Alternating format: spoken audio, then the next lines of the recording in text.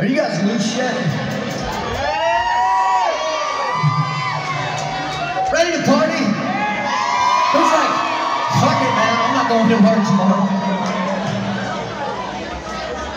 I'm gonna get shit faced and stay up all night.